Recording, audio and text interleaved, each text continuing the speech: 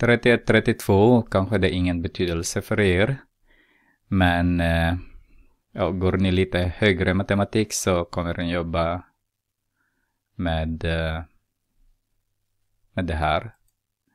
Eh, 31-32 matte 2B, matte 2BC och sen 31-29 för matte 2C.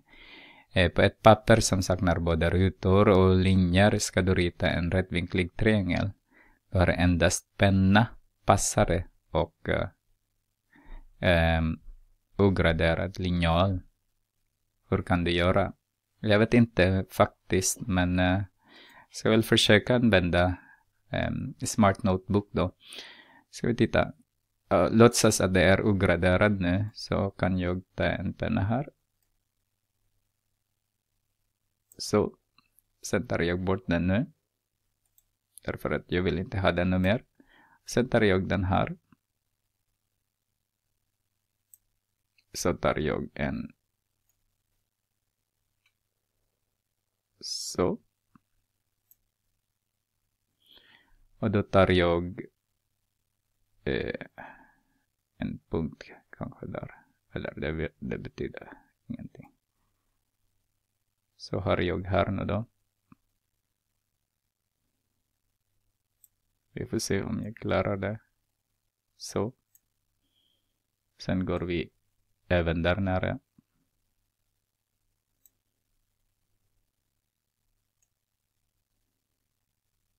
Så.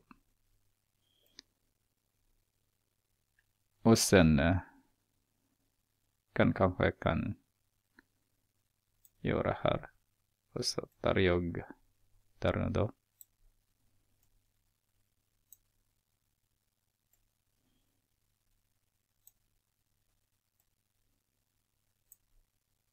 Om man har gjort rätt så har man en rak där.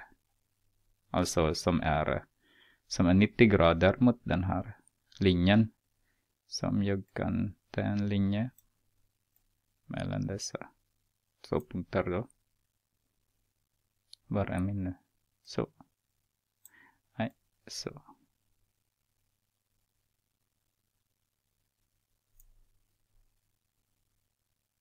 Jag hoppas att det eh. är 90 grader.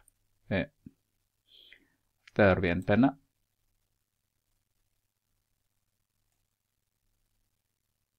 Så.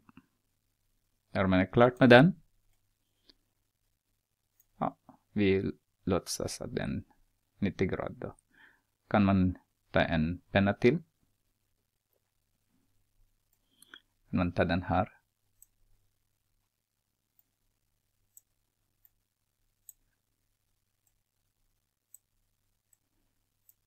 Antingen ni gör ditt håll. Eller på andra hållet också. Men jag gör här nu då. Så gör jag så.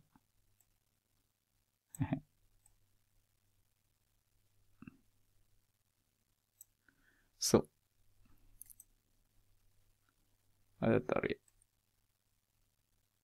Okej. Om man har gjort den nu då så ser man att det här är 90 grader. Den här är egentligen 90. 90. Ja. Så kan man göra. Jag har gjort det med eh, digitalt, men du kan göra också med eh, naturligtvis om du har passare hemma. Men det, det kommer att gå bra. De som går kanske i teknik så kan ni göra det här. Ni kan jobba med den. Men ekonomi kan jag inte se så väljer att inte göra det så. Det förstår jag.